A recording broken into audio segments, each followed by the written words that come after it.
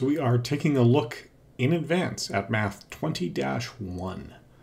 So this is the grade 11 math course that we will be starting this fall. It is broken into three units as far as the curriculum is concerned. As we're going through the previews, we're going to be focused on those units as they are defined by the province and separate and distinct from any textbook we may be using. So they're also going to be very unevenly sized. One of the units in particular is much bigger than the other two. So the first unit is the algebra and number unit.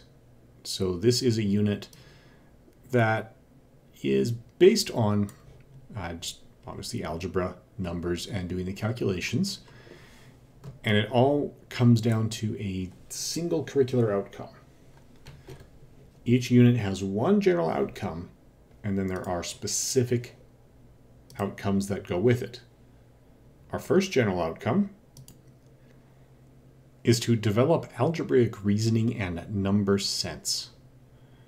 And the specific implementation that we're going to have for our first specific outcome is related to absolute values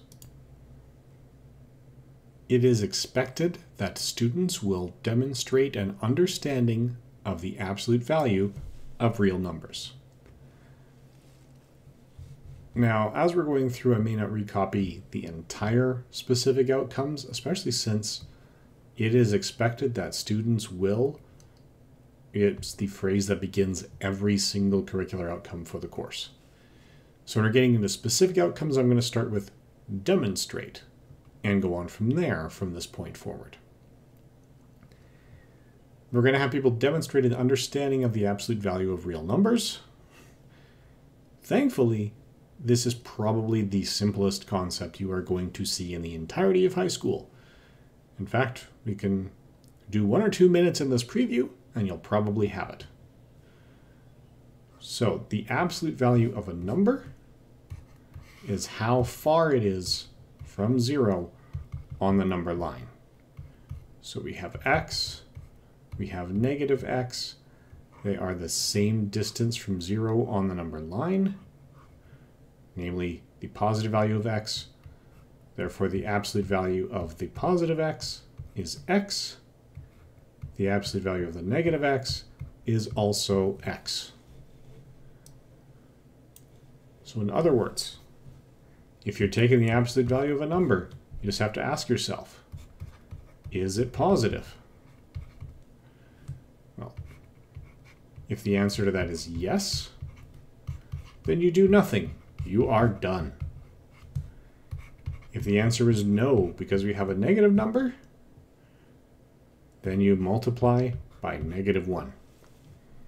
This is the entire concept. Just to be clear, because of my penmanship, that x means multiply. Now the one thing we have to remember, the most common mistake students make is that you're looking at the absolute value of the entire thing.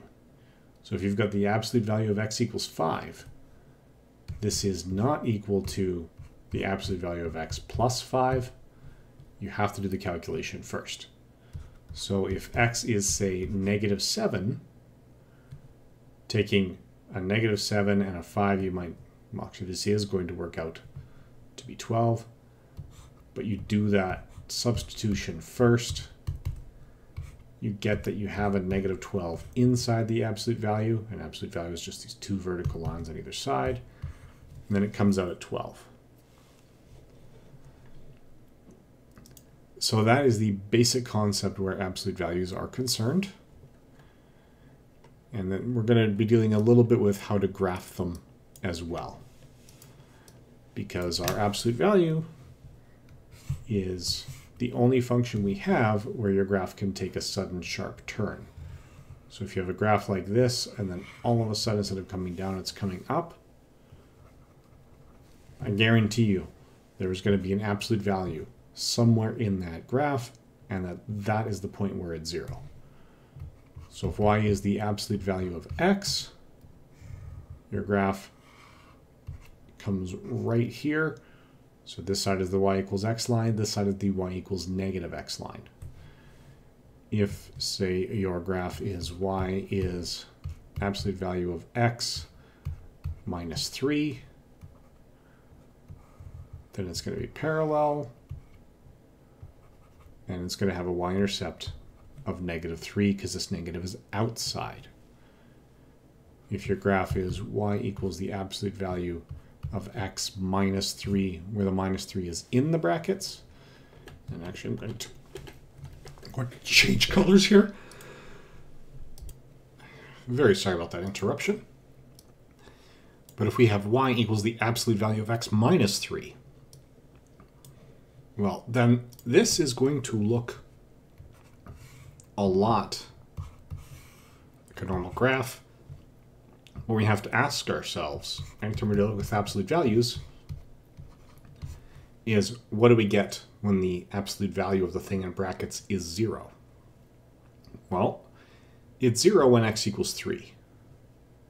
So what, from x equals 3 up, where x is positive, the bracket is positive, we get that nice straight line there. But anything less than x equals 3, we'd have a, a negative number in the bracket. It's like we have reflected our graph in the x-axis. So as opposed to the absolute value of x minus 3, which dip down below here, and they should perfectly coincide from that point on. This takes its turn there. But absolute values are the only functions that you're probably ever going to see, aside from some piecewise defined functions, which have these sharp turns in them at any point.